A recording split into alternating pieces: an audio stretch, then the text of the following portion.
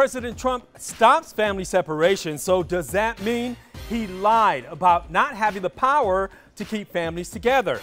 Could a Hail Mary resurrect Pima's football program? And why Tucson landed on the list of worst cities to live in? These stories and more next on the 520.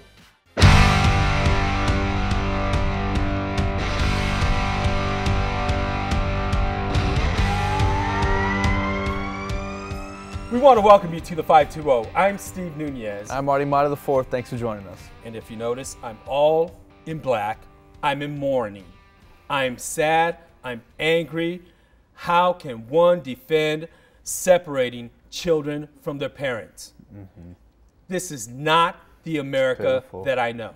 Of course. And seriously, we're going to s- start off on this note because it's something we should be talking about, and it's something we should all care about. So I'm going to get started. Thank you, Steve. Let's just come right on out and tell it like it is. It turns out there is absolutely no freaking law that requires the separation of immigrant children from their mothers and fathers at the border. President Trump and his administration flat out lied about it after claiming family separation was a result of democratic law that could only be changed by congressional action, the president flip flopped, reversed course, and signed an executive order that'll keep families together. Finally, mm-hmm. something right done, but the damage cannot be recovered. Yeah, and the worst part about it is he's forced us to be okay with it. He's forced us to forget about the fact that he lied. He's forced us to forget about the fact that this was all just a giant puppet show for him. And him claiming at first, if you would have given me my wall, I wouldn't have I wouldn't have had to do this. He's a, he's a kidnapper claiming his ransom. He's a kidnapper asking for his reward. And that's the worst part about it is now it makes me think that this was just part of his entire agenda the entire time since he came into office in January. It's cruel, it's inhumane. How can one defend seeing innocent little children crying for their parents mm-hmm. and locked behind cages like animals. Mm-hmm. I said it before. If, how is it that we can care about dogs who are at the Pima Animal Care Center locked behind cages mm-hmm. more than we care about these innocent children? That's what it's boiled down to. That's what the debate has become, and it's sad. Okay, so he reversed courses and signed an executive order. Now he's the hero. Okay. he may be the hero to his people, mm-hmm. but here's what his executive order does not do it does not reunite families with their children, mm-hmm. it does not help children reunite with their parents or parents find their children. So it's not over. There's not. over 2,300 mm-hmm. kids who are without their parents tonight, mm-hmm. sleeping on the floor. And guess what? There's no help for them to be reunited with their parents mm-hmm. or their parents be reunited with them. Mm-hmm. We must remain angry. We must remain vigilant. We must remain American to stop this. It's horrible. It is. I, I couldn't say I couldn't say it any better myself, Steve. Thank you for that. I don't enjoy the fact that now Donald Trump, by doing the right thing, he's the hero. He's the fantastic person. We'll give him his pat on the back. But we're forgetting about everybody that's not grandfathered in from here on out. I, I just can't fathom all of this because as a father, I don't know what I would do if my daughter was ripped mm-hmm. from my arms. And so it's very emotional. Thank everyone for the privilege that you don't have to. Yeah. Is Pima Community College praying for a Hail Mary for private donors to pony up enough money to resurrect its football program? Pima decided to follow Maricopa Community College District and cut its football program after this upcoming season. Pima claims it'll save half a million dollars per year. The college is facing five million in budget cuts over the next three years. This is just ridiculous. It's kind of pathetic, you know, that they would drop football. One way to put it. You know, and it shows a systemic uh, problem within the college of not being able to manage its finances. Mm-hmm. When you have 80,000 students that attend college, find a way to keep the football program. You know, you can get creative with this. Mm-hmm. Yes, drop tennis, drop golf, and keep football, which is your biggest sport that allows the college to at least make some money or at least promote the, the college for free with a successful football program, just like the universities do. But here's the deal. How about just charging the players a hundred dollar fee or something to help subsidize it, cut corners wherever they can, and you know what? Get some private donors. There are enough private donors out there that can help. Mm-hmm. Will it save the football program? I believe it can. How long? I don't know. Mm-hmm. And the audacity of administration to claim that this is a good thing. We're saving money. We're doing what we have to.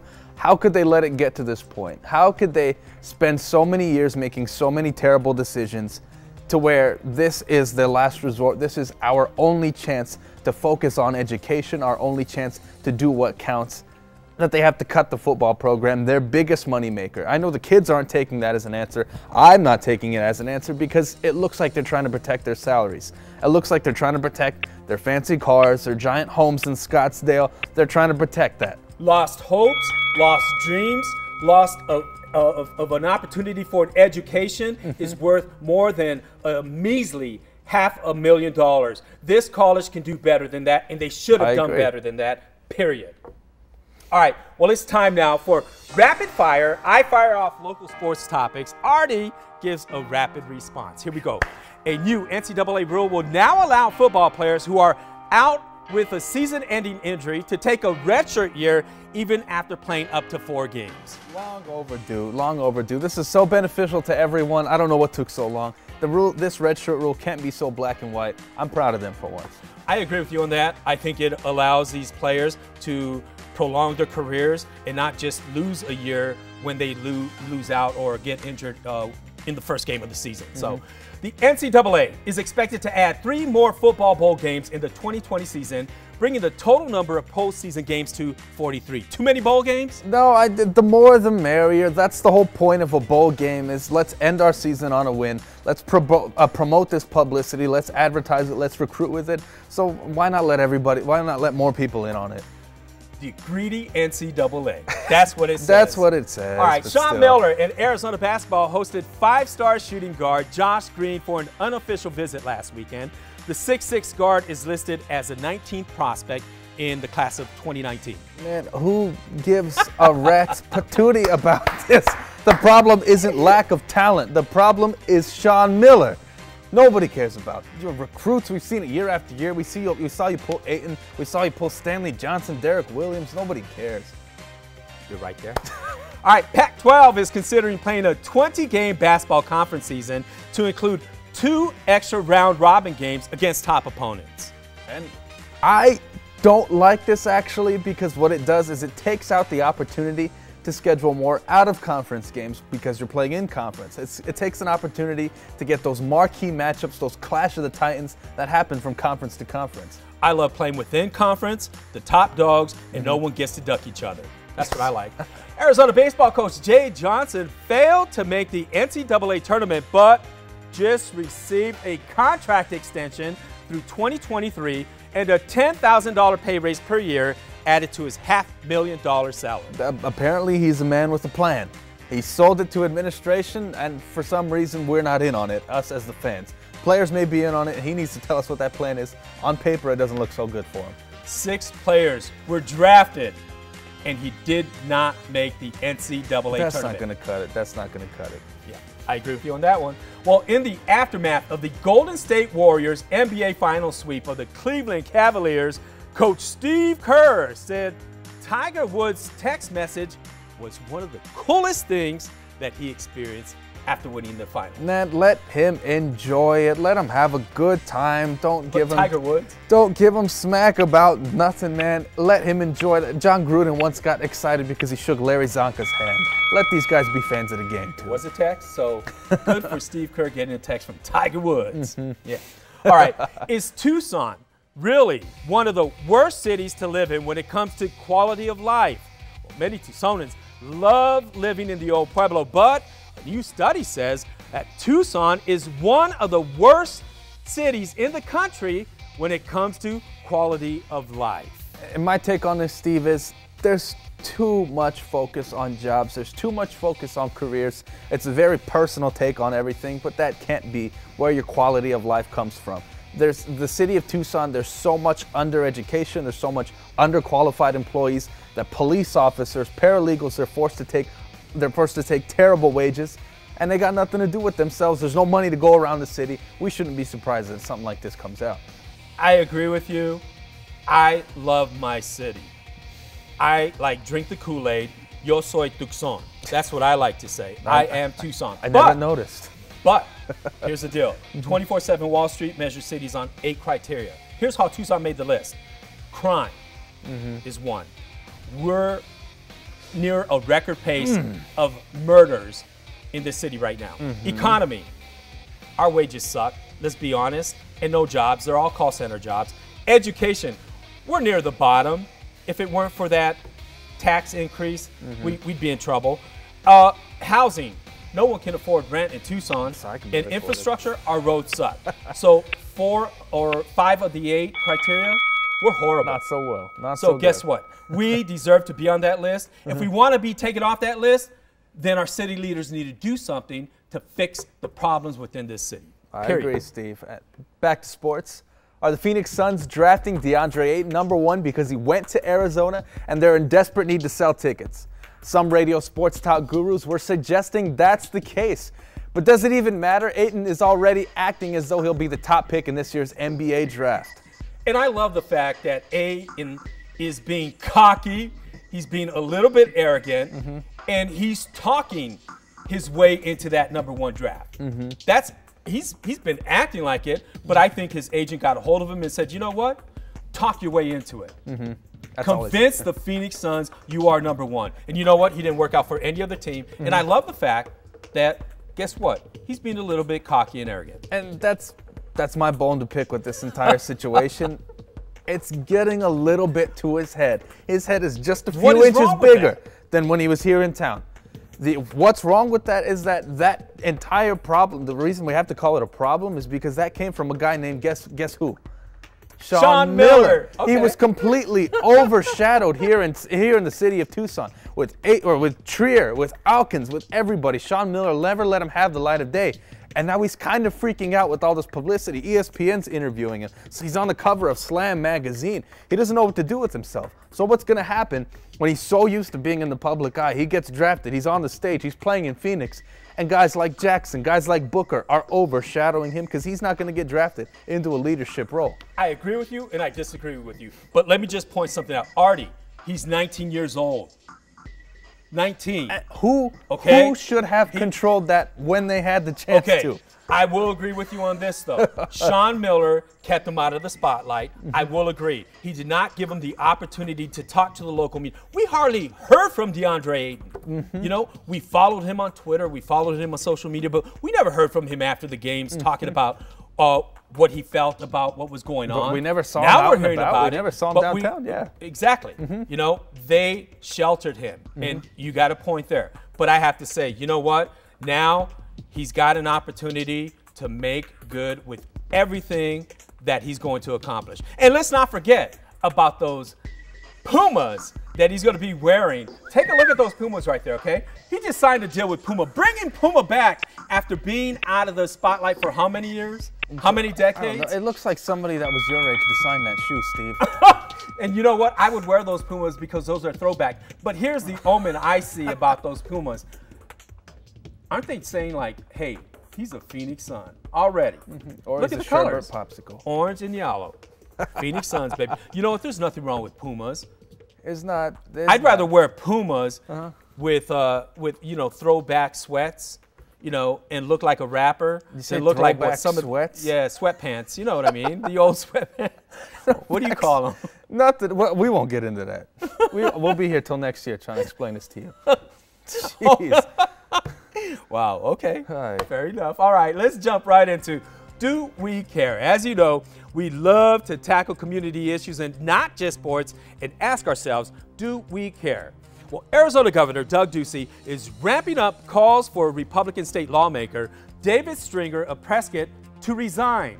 Stringer was caught on audio tape making racist comments, including stating in part, immigrants represent a threat to the U.S. because there aren't enough, quote, white kids, end quote. Now, Do we care? to the average Anglo Caucasian American citizen, it's okay to want to continue your, your community values, your cultural values. It's okay to want to live in a suburb and bring your neighbor a, a nice fresh piece of pie and drive your Ford Focus. It's not okay to be afraid of change. This statement came from fear. It came from fear of change, which is why it was bad for once. I agree with Doug Ducey. Am I surprised by that statement?